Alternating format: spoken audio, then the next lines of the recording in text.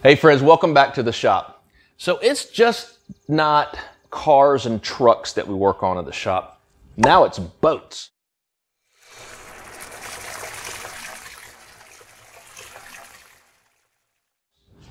So I actually picked up this boat from my dad in a trade.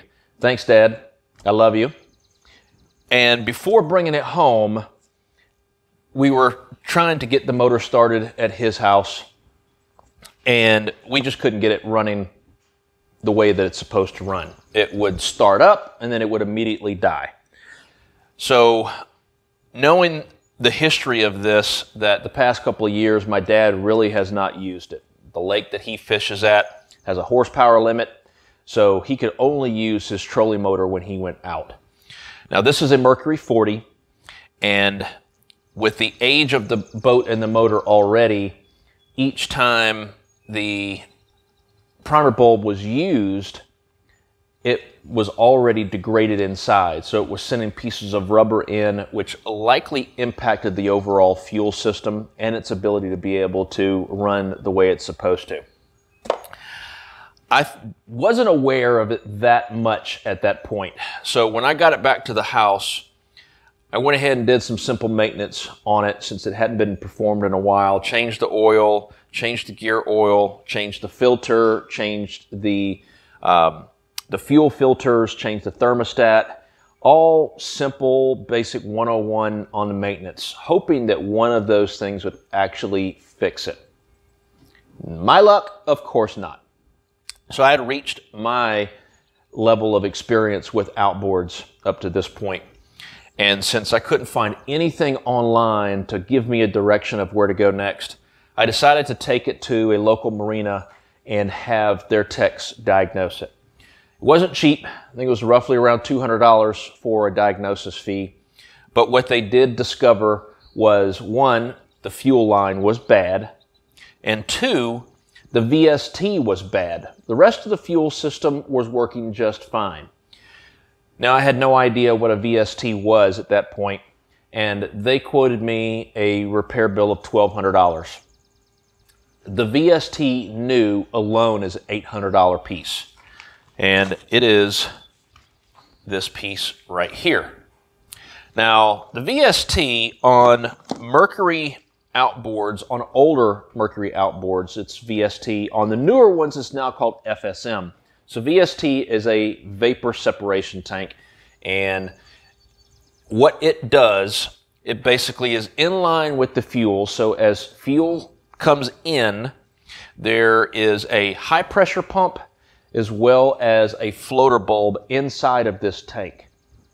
Now, as fuel comes in, the floating bulb will rise once it hits the top, it cuts off on the intake end, but then the high pressure pump kicks in, pressurizes the fuel, and sends it out to the fuel rails.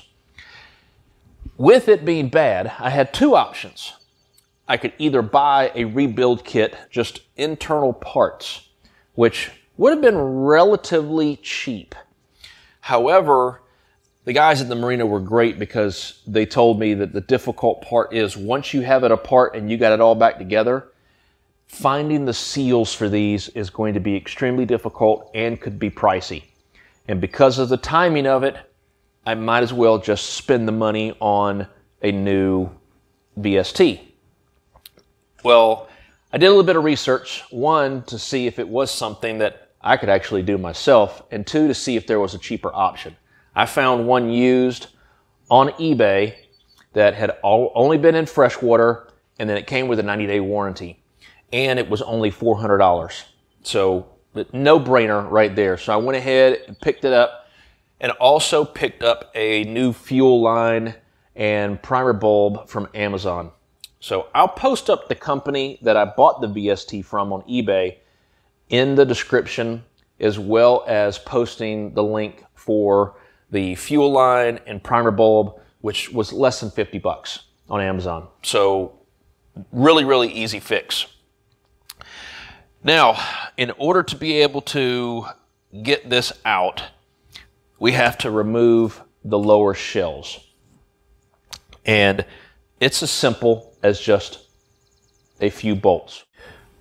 Okay, so the bolts that you end up having to take off in order to get the outer shell is going to be this one here, this one here. There is another one right there. There is one here that you have to get out, one here, and then inside you have another one right there if the camera will focus on it.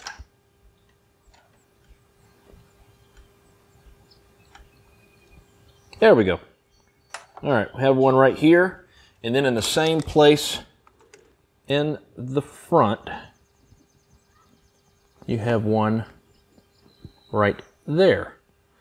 These two, you don't have to take out completely in the front and the back. You could just remove it enough to where you can pull apart the casing half.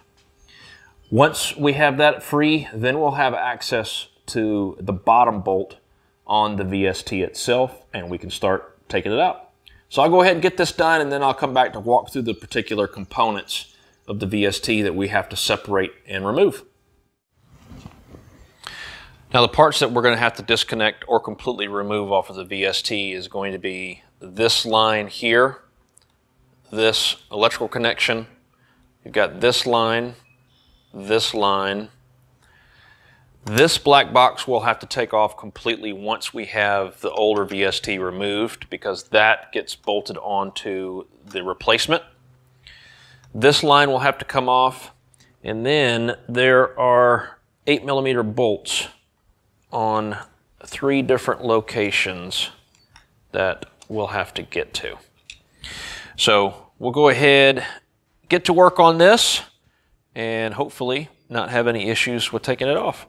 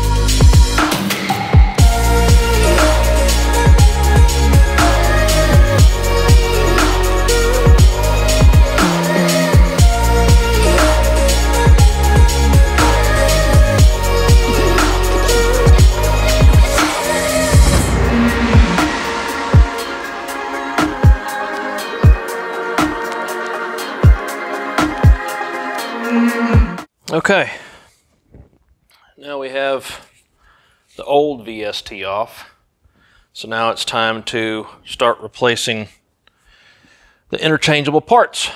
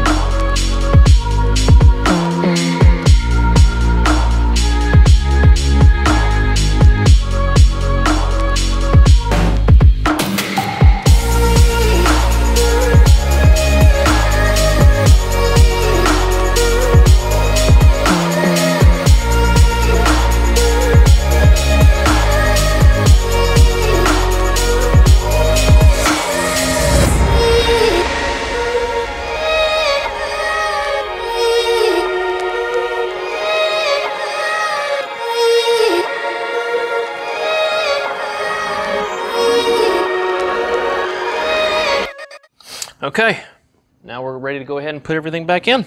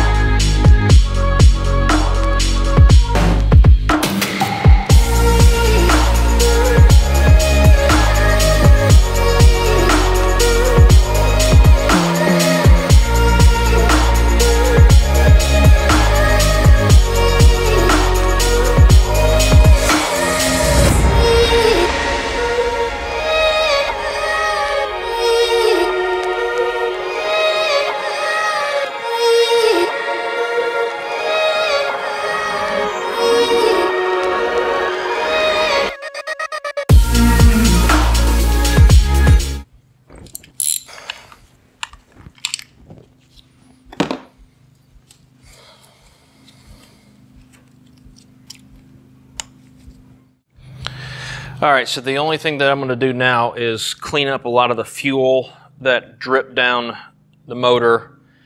Uh, once I have that cleaned up, then I'm going to go ahead and prime it and see if we can get this fired up.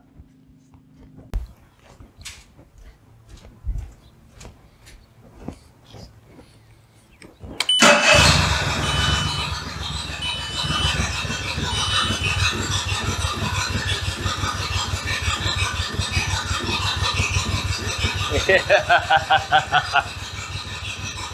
yeah. All right.